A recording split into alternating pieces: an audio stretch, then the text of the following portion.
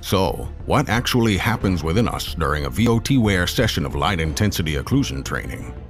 Occlusion training is the act of maximizing the blood flow to the working muscle by active exercise, while minimizing the venous return out of the same muscle using specific localized pressure. Due to this, lactic acid accumulates within the muscle in abnormal quantities, and blood vessels expand due to the new pressure created, increasing the heart rate and overall circulation in the body. The cells found inside the vessels produce nitric oxide, which in addition increases the elasticity of the vessels and circulation of blood.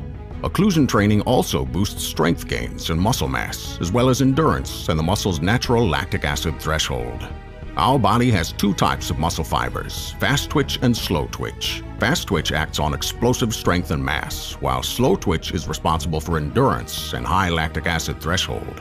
It's usually impossible to train both these different fibers at once. However, the sudden environment of low oxygen levels and accumulation of lactic favors the growth of both types of fibers simultaneously.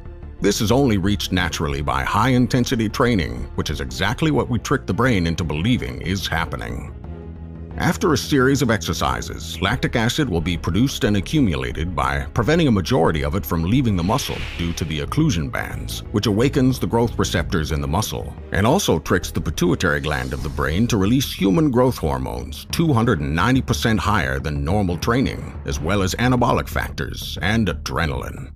The accumulation in lactic acid also awakens the receptors in all the muscle groups trained prior to your occlusion training routine, causing yet another boost in growth hormone that benefits all the muscles you've trained beforehand directly and increases the overall metabolism and fat consumption and burning. The next step in the evolution of training is here, and you're already behind.